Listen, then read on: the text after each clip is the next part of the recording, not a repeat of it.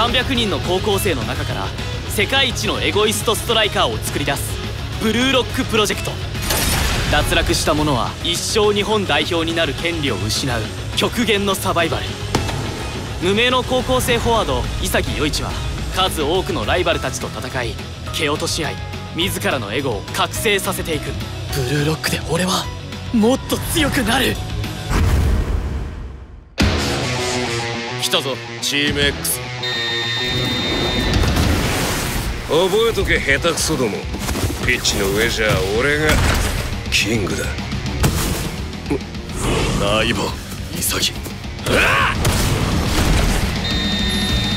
ゴール前でビビるやつにストライカーの資格はねえぞ。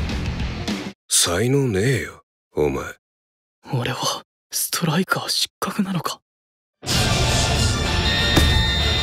君って僕と同じ目を持ってる。でも僕には勝てないゲームを支配するのは僕です。誰か止めろ!ここで点を取られたら負ける!嫌だ!ここが一番ゴールの匂いがする。聞こえるでしょ?怪物の声。決めろエゴイスト潔与一俺はストライカーだ。気持ちいい行くぜ鬼。来るぞチギリ俺たちで止める。これで最後でもいい。行くぞ右足。行けチギリもう一度。俺はサッカーがしたい。これがちぎり氷馬だ。俺の人生は退屈に満ちていた。サッカーと凪清志郎に出会うまでは。